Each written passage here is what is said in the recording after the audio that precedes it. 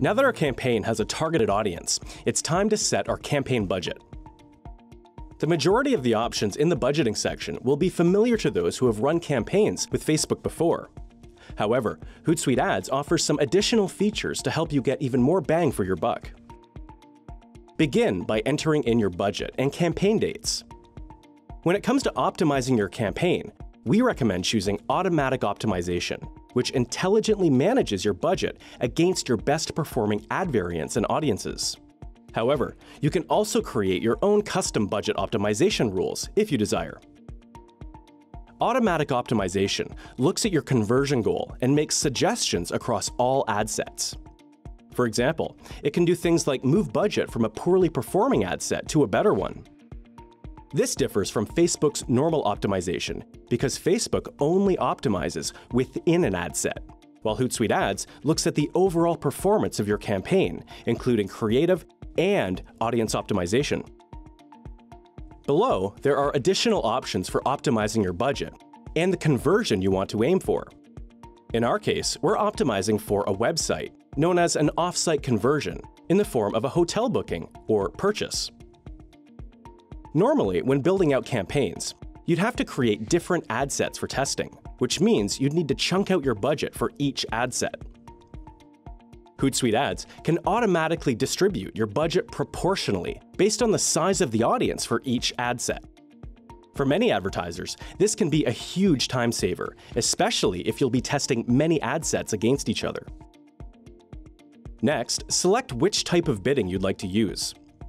While many advertisers prefer automatic bidding, you could enter a custom bid or use suggested minimum, median, or maximum bids if you have a specific goal in mind.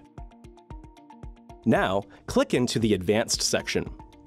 Here, you'll create your ad set and add naming conventions by clicking on the placeholder items you want represented from the drop-down menu.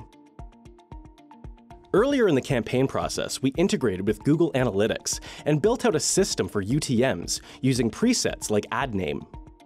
In this section, we'll be able to control what specific information shows within these custom UTM presets.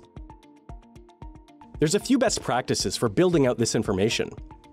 First, select enough information so you can tell which ad is which when looking at the UTMs.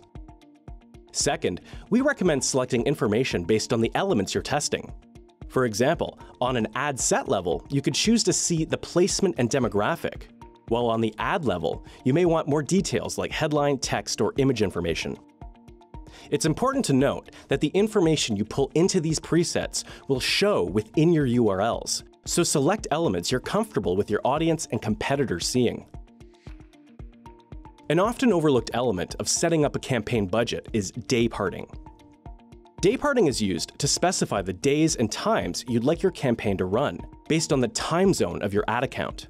For example, if you're a B2B company that's targeting professionals during the workday, you could run your ad Monday through Friday, 9 to 5. This way, you're not wasting budget at a time when your audience is less likely to convert.